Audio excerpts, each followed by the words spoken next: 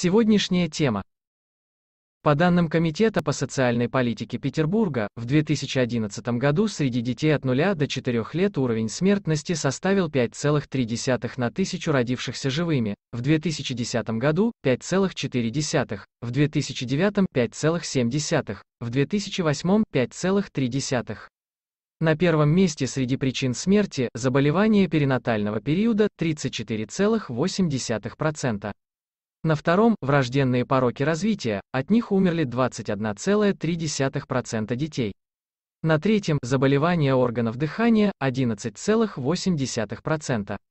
Чем болеют петербургские школьники, узнайте здесь. Смертность детей от 1 года до 17 лет в 2011 году осталась в тех же пределах, что и в 2010 и составила 0,27 на тысячу детей соответствующего возраста. На первом месте среди причин смерти 36% травмы и несчастные случаи. На втором – онкологические заболевания, от них умерли 20% детей.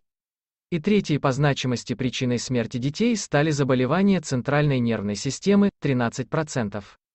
Как попасть к онкологу в Петербурге, читайте здесь.